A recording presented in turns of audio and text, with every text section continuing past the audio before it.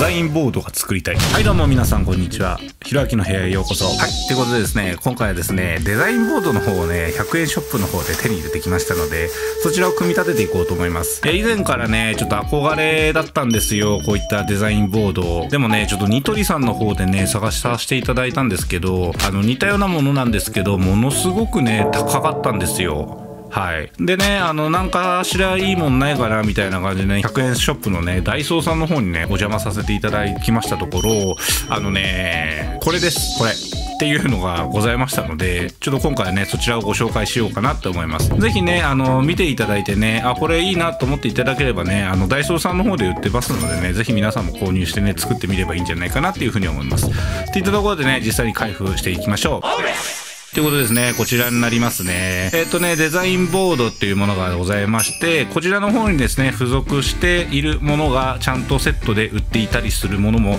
たくさんありましたので、とりあえずね、わかんないで全種類買ってきました。はい。まずこちらになりますね、デザインボードの方になりますね。こちらのデザインボードの方ね、いろんな色がありましてね、ナチュラル、ホワイト、あとブラックとかもありましたのでね、ちなみにね、こちらね、100円ではなく200円になりますのでね、それでもね、ニトリさんより全然安いんでね、はい。で、こちらが板を支える台座にになりますね。こちらの方に刺していただいて立てるみたいな感じですね。実際ね壁に直接ねつけてもいいとは思うんですけど賃貸とかさあとその壁にあんまり傷つけたくないなっていう人はこういったねあの置き台みたいのを買うといいと思います、えー、そして次続いてがこちらですね。シェルフセットっていうのでねあの物置の板になりますね。でそれを支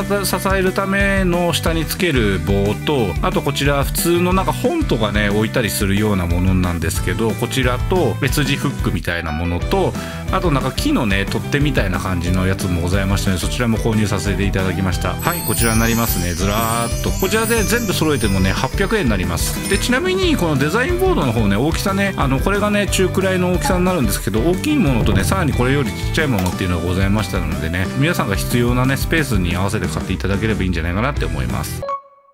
はい。では実際にね、開封していきましょう。こちら全部ね、開封させていただきまして、で、まずはこちらの板の方ですね。この下の方に刺していただいて立てることができますと。で、そうしましたら、この棒みたいなやつを上の方に2個取り付けさせていただいて、で、板が刺さるようになりますね。で、もう1個ちっちゃいのが板が乗っかって、で、こちらですね、あのー、これね、多分ね、本とかね、置くみたいな風に書いてあったんですけど、私ね、ちょっと Apple Watch のね、バンドをね、置いとく場所がずっとなくてね、どうしようかなと思ってたんですけど、まあ、本当これのためだけに買ったぐらいの勢いですね。はい。いや、いい感じにつきますね。こういう買った形でいい感じにつけさせていただいて、やるみたいな感じなんですけど、とりあえずね、あの、どんどんどん置いていきましょう。うーん、すごく迷いますね。こうして、ああして、そうして、こんな感じですかね。いかがですかね、皆さん。えっとね、ちょっと僕趣味でヨーヨーとかやってるんですけど、そういったもの飾ったりとか、あとゴルフのね、あの、ピン持ってるクマちゃんとか可愛いやつとかね、いろいろやらせていただいたりと。えっ、と、AirPods Pro とかね、鍵とかね、充電器とかってそういったものを置いてていただいたりね、まあいろんなアレンジが本当にね、可能になってますのでね。で、こちら大きさね、40センチと30センチになりますね。で、本当ね、いろんなパターンがありますのでね、ぜひね、皆さんもやってみてください。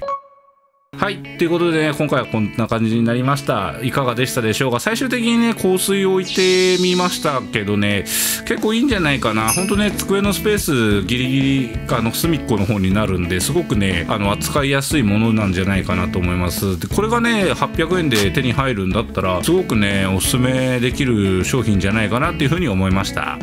はい。といったところでね、この動画面白いと思っていただければ、高評価、チャンネル登録お願いいたします。皆さんもね、100円ショップね、多分よく行くと思うんですけど、おすすめのね、収納グッズとかあればね、コメント欄の方で教えていただければと思います。ぜひね、私もね、そちらの方購入していただいて、動画のネタにね、できればいいなと思っているので、ぜひご協力お願いいたします。それではまた次回の動画でお会いいたしましょう。今回はね、ちょっと短くなってしまったんですけど、こういったね、デザインボードでね、かっこよくね、作れるよっていうのを動画にしてみました。それではまた次回次回の動画でお会いいたしましょう。そんじゃまたね。水平線が光る朝に、あなたの希望が崩れ落ちて風に飛ばされるかけらに、誰かが綺麗とつぶやいてる悲しい声で